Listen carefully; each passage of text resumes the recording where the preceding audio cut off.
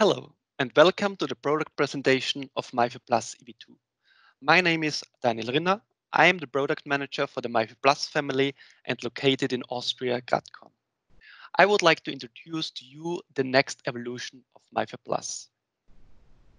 Allow me to share with you a short overview on the MIFARE Plus before we get into the product details of the MIFARE Plus EV2. The first generation of MIFARE Plus was introduced into the market in the year 2009.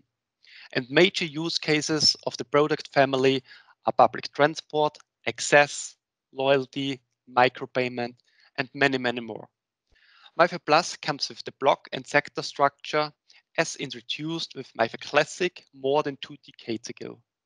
That allows and enables to migrate existing reader infrastructures in a step-by-step approach into higher security. That is served with the possibility of sector-wise migrations on the MIFARE Plus EV2, meaning not the entire card needs to be switched from one security level to the next, but only the sectors of need. More later on. MIFARE Plus implementations are as well available on banking ICs, on secure elements, and are licensed towards third parties.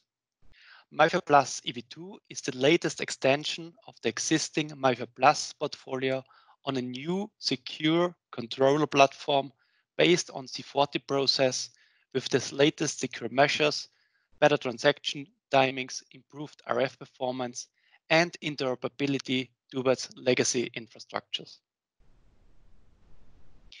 Now let's come to the key pillars of the Plus EV2 it is an optimized product with the backwards compatibility to all block and sector-based MIFARE products.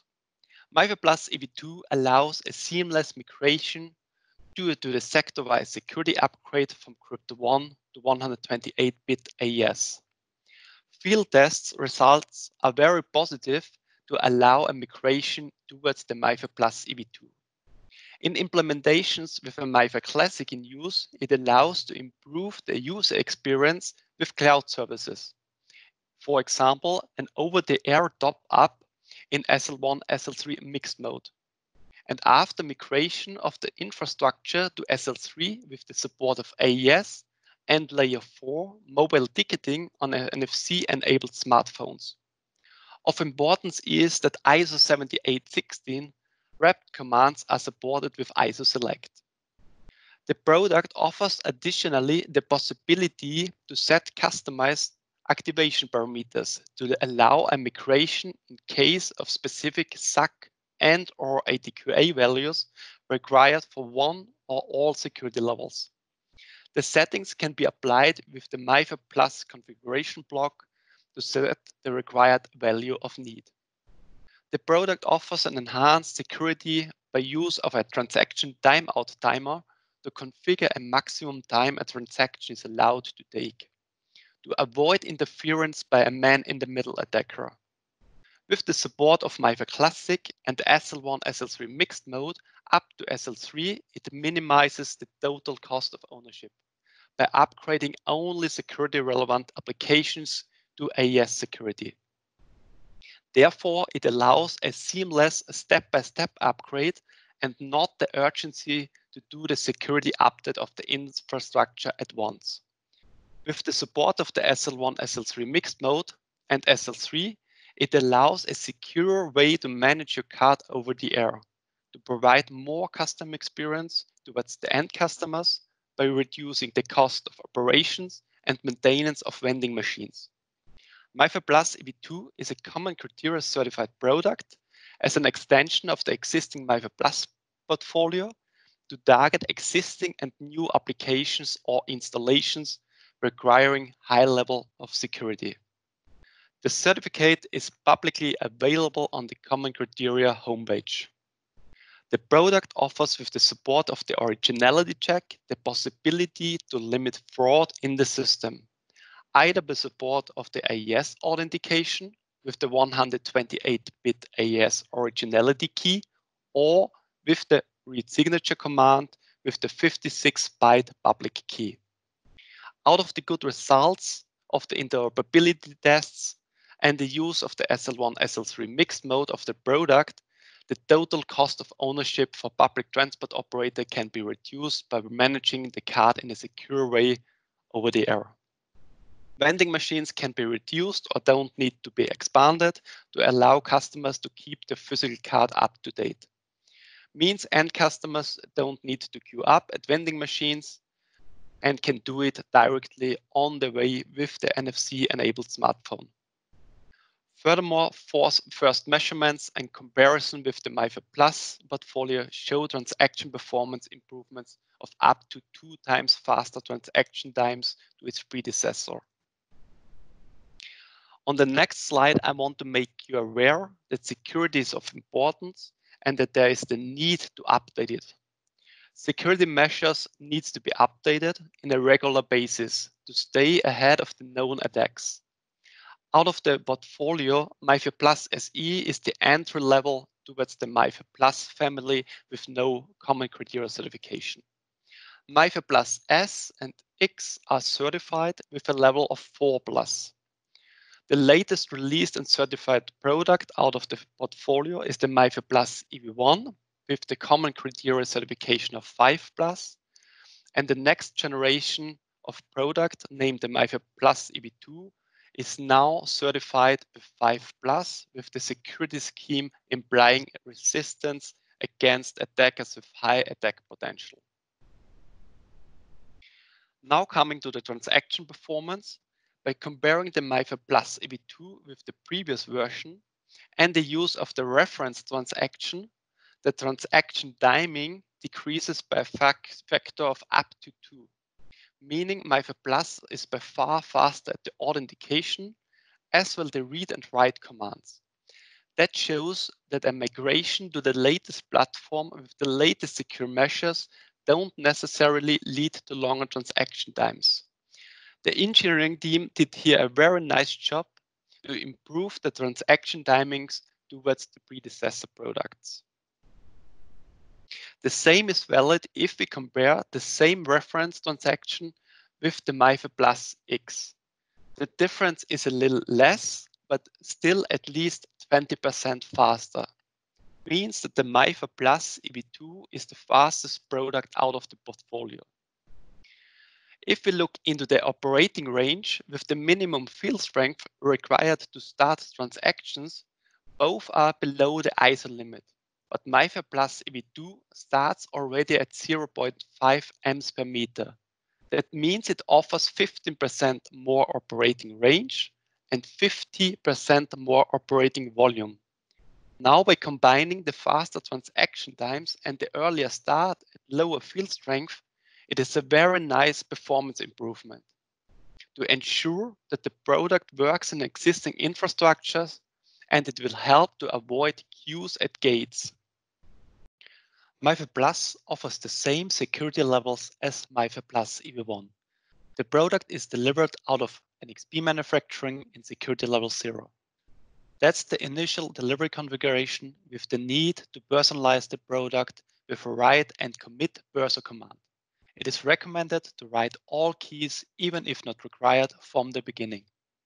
A security level switch can be done either on the full card or on a sector by sector basis means as soon as the product is in security level 1, the card is flexible to be upgraded on the sector by sector basis or on the full card. Security level 1 is the MIFARE Classic backwards compatibility mode and allows a multi-sector authentication to improve the transaction performance. In addition, security measures are offered with the transaction timeout timer for the full transaction and the proximity check measuring the challenge, challenge response time. The originality check feature offers the possibility with a public key to check if the product is genuine. That allows to identify if non-trusted cards, an example non-authorized cards, are in the system. Furthermore, to leverage the AES authentication, own 128-bit AES keys are supported to identify the product in the field. The SL1 SL3 mix mode allows on sectors to upgrade with Crypto One and AES. That's a benefit if the infrastructure cannot be upgraded from the time being, but brings additional customer service to the end customers. An example to allow a secure top-up with the NFC-enabled smartphone of the physical card. Furthermore, a SL1 restriction in the MIFARE Classic backwards compatibility mode can be granted to limit the risk of fraud from the SL1 interface. Means the full rights are granted from the SL3 interface by support of AES authentication, but from the SL1 interface, only a read or decrement is allowed. In SL3, only AES is supported with the secure messaging modes. Additional mobile support can be added with the support of ISO 7816 wrapped commands, which is used on NFC-enabled mobile phones. The transaction MAC brings trust in multi-service provider systems by proof that the transaction is genuine towards the backend system. Own transaction MAC keys are defined and checked towards the backend system to detect potential fraud in a multi-service provider system. The transaction timer timer and the proximity check allow to limit the risk of a man-in-the-middle attack. Now on this slide, I want to show you the over-the-air top-up with the add-on towards end customers without the need to change the existing infrastructure. The MIFARE Plus EV2 needs to be configured in the so-called SL1 SL3 mix mode and will be accepted in the legacy Crypto One installation whereby the SL3 mode allows to have a secure end-to-end connection towards the backend system. This allows to manage the physical card over the air in a secure way to increment the value onto the card with the NFC-enabled smartphone. That adds the benefit to the end customer that he stays anytime at any place in control of his card. It also allows to add value onto the card without the need to queue up at vending machines. For system integrators, it offers the option to minimize the total cost of ownership by upgrading only security relevant applications to AES security and need to expand the vending machines at additional stations. On the next slide, I want to show you the transaction MAC feature which helps preventing fraudulent merchant attacks in a multi-reader infrastructure. In example, it allows a merchant operating a point of sales terminal to prove that the transaction executed with customers are genuine towards the backend system. It reduces fraud by letting the card generate a TMAC over the transaction with a key shared only by the card and the backend system. Optionally, a commit of the reader ID of the merchant can be required. MAC generation also involves a TMAC counter maintained by the card, which allows the backend system to detect replay attempts by the merchant. In addition, this counter allows the backend system to detect missing transactions to allow detecting fraud, where in example, the merchant has increased the balance without reporting this transaction. The tra transaction MAC counter keeps logs of every transaction to allow a detection mechanism of replay attacks. MIFARE Plus EV2 comes with a transaction timeout timer to mitigate man-in-the-middle attacks. This new feature allows the card issuer to configure a maximum time a transaction can take to avoid interference by an attacker. Once the threshold is exceeded, the card will automatically reset. The timer is available in SL1 and SL3. The timer feature is not active in SL0 in the initial delivery state. As long as the timer has not expired, regular command executions are not influenced. The timer settings can be set to get a reset after 1 to 3 seconds, 10 to 30 seconds, or 100 to 300 seconds. Of importance is that the implementation needs to take care that the time expiration does not occur during a normal transaction execution. Last but not least, on the next slide, the secure end-to-end -end channel in security level 3 is shown. In the example with an infrastructure upgraded to security level 3, the physical card can be virtualized to allow next to the physical card the NFC-enabled smartphone to work.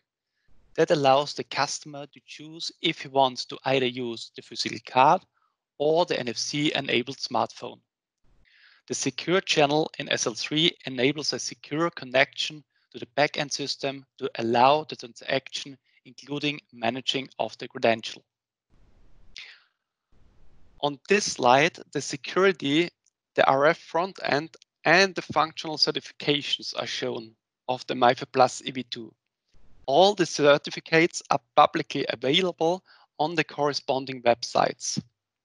Now on the next slide, I would like to show you the product support and the ordering information.